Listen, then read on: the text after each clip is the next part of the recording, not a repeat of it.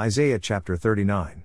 At that time Merodachbaladan, the son of Baladan, king of Babylon, sent letters and a present to Hezekiah, for he had heard that he had been sick, and was recovered.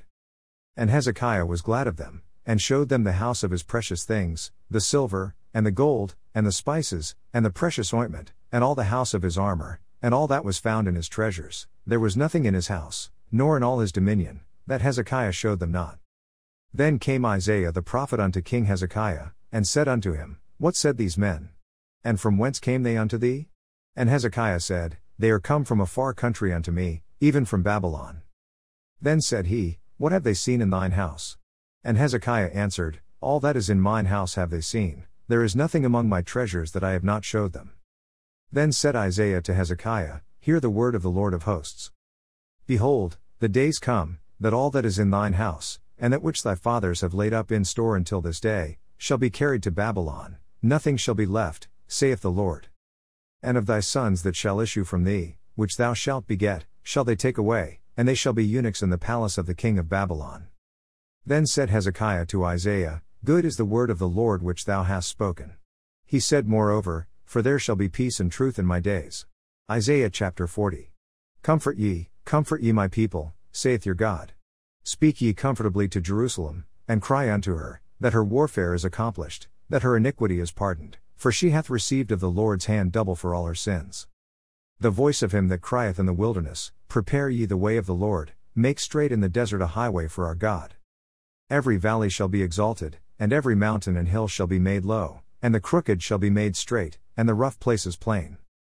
And the glory of the Lord shall be revealed, and all flesh shall see it together, for the mouth of the Lord hath spoken it. The voice said, Cry. And he said, What shall I cry? All flesh is grass, and all the goodliness thereof is as the flower of the field. The grass withereth, the flower fadeth, because the Spirit of the Lord bloweth upon it, surely the people is grass. The grass withereth, the flower fadeth, but the word of our God shall stand for ever. O Zion, that bringest good tidings, get thee up into the high mountain, O Jerusalem, that bringest good tidings, lift up thy voice with strength, lift it up, be not afraid, say unto the cities of Judah, Behold your God. Behold, the Lord God will come with strong hand, and his arm shall rule for him. Behold, his reward is with him, and his work before him. He shall feed his flock like a shepherd, he shall gather the lambs with his arm, and carry them in his bosom, and shall gently lead those that are with young. Who hath measured the waters in the hollow of his hand, and meted out heaven with the span, and comprehended the dust of the earth in a measure, and weighed the mountains in scales, and the hills in a balance. Who hath directed the Spirit of the Lord, or being his counselor hath taught him? With whom took he counsel, and who instructed him, and taught him in the path of judgment, and taught him knowledge, and showed to him the way of understanding? Behold, the nations are as a drop of a bucket, and are counted as the small dust of the balance. Behold, he taketh up the isles as a very little thing. And Lebanon is not sufficient to burn, nor the beasts thereof sufficient for a burnt offering. All nations before him are as nothing, and they are counted to him less than nothing, and vanity. To whom then will ye liken God? Or what likeness will ye compare unto him? The workman melteth a graven image, and the goldsmith spreadeth it over with gold, and casteth silver chains. He that is so impoverished that he hath no oblation chooseth a tree that will not rot, he seeketh unto him a cunning workman to prepare a graven image, that shall not be moved. Have ye not known? Have ye not heard? Hath it not been told you from the beginning? Have ye not understood from the foundations of the earth? It is he that sitteth upon the circle of the earth, and the inhabitants thereof are as grasshoppers, that stretcheth out the heavens as a curtain, and spreadeth them out as a tent to dwell in. That bringeth the princes to nothing, he maketh the judges of the earth as vanity. Yea, they shall not be planted, yea, they shall not be sown, yea, their stock shall not take root in the earth, and he shall also blow upon them, and they shall wither, and the whirlwind shall take them away as stubble. To whom then will ye liken me, or shall I be equal? saith the Holy One. Lift up your eyes on high, and behold who hath created these things, that bringeth out their host by number, he calleth them all by names by the greatness of his might, for that he is strong in power, not one faileth. Why sayest thou, O Jacob, and speakest, O Israel, My way is hid from the Lord, and my judgment is passed over from my God? Hast thou not known? Hast thou not heard, that the everlasting God, the Lord, the Creator of the ends of the earth, fainteth not, neither is weary? There is no searching of his understanding.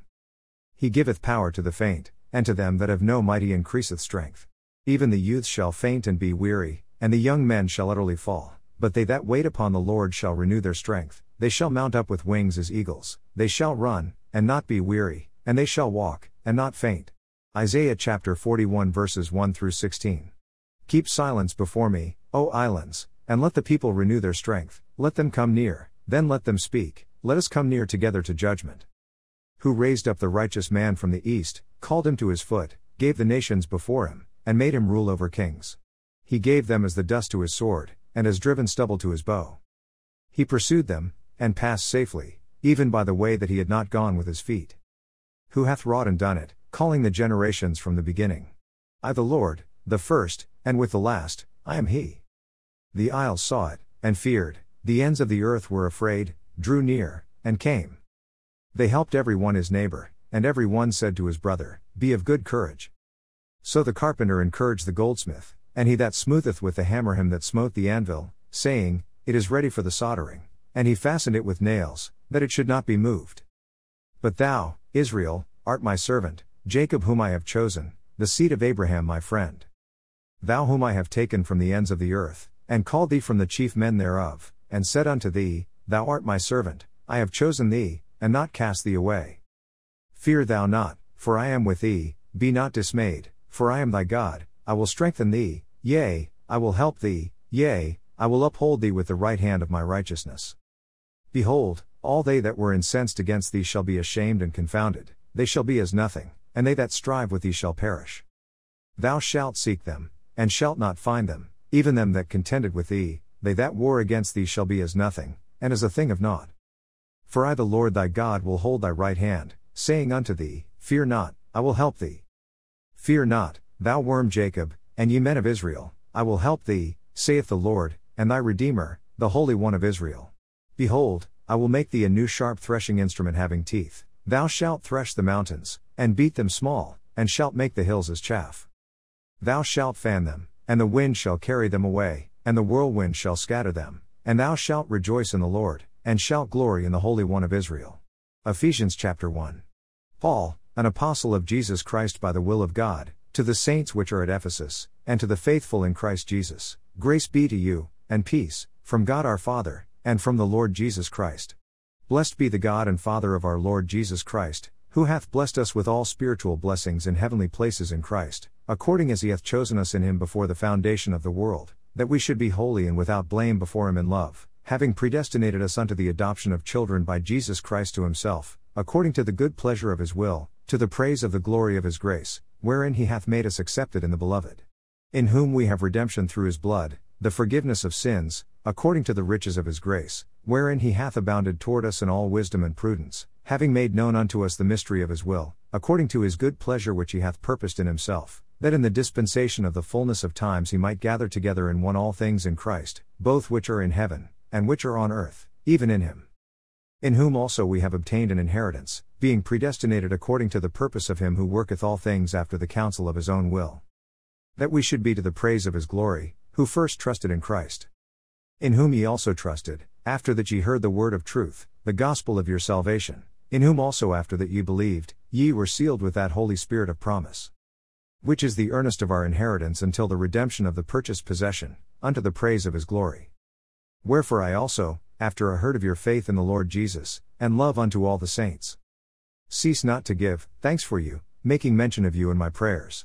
That the God of our Lord Jesus Christ, the Father of glory, may give unto you the spirit of wisdom and revelation in the knowledge of him. The eyes of your understanding being enlightened, that ye may know what is the hope of his calling, and what the riches of the glory of his inheritance in the saints. And what is the exceeding greatness of his power to usward who believe, according to the working of his mighty power. Which he wrought in Christ, when he raised him from the dead, and set him at his own right hand in the heavenly places. Far above all principality, and power, and might, and dominion, and every name that is named, not only in this world, but also in that which is to come. And hath put all things under his feet, and gave him to be the head over all things to the church. Which is his body, the fullness of him that filleth all in all. Psalms chapter 66. Make a joyful noise unto God, all ye lands, sing forth the honor of his name, make his praise glorious. Say unto God, How terrible art thou in thy works! Through the greatness of thy power shall thine enemies submit themselves unto thee. All the earth shall worship thee, and shall sing unto thee, they shall sing to thy name. Selah. Come and see the works of God, he is terrible in his doing toward the children of men. He turned the sea into dry land, they went through the flood on foot, there did we rejoice in him. He ruleth by his power forever, his eyes behold the nations, let not the rebellious exalt themselves. Selah. O bless our God, ye people, and make the voice of his praise to be heard, which holdeth our soul in life, and suffereth not our feet to be moved. For thou, O God, hast proved us, thou hast tried us, as silver is tried. Thou broughtest us into the net, thou laidst affliction upon our loins. Thou hast caused men to ride over our heads, we went through fire and through water, but thou broughtest us out into a wealthy place. I will go into thy house with burnt offerings, I will pay thee my vows, which my lips have uttered, and my mouth hath spoken, when I was in trouble. I will offer unto thee burnt sacrifices of fatlings, with the incense of rams, I will offer bullocks with goats. Selah. Come and hear, all ye that fear God, and I will declare what he hath done for my soul. I cried unto him with my mouth, and he was extolled with my tongue. If I regard iniquity in my heart, the Lord will not hear me, but verily God hath heard me, he hath attended to the voice of my prayer. Blessed be God, which hath not turned away my prayer, nor his mercy from me. Proverbs chapter 23 verses 25 through 28. Thy father and thy mother shall be glad, and she that bare thee shall rejoice. My son, give me thine heart, and let thine eyes observe my ways. For a whore is a deep ditch, and a strange woman is a narrow pit. She also lieth in wait as for a prey, and increaseth the transgressors among men.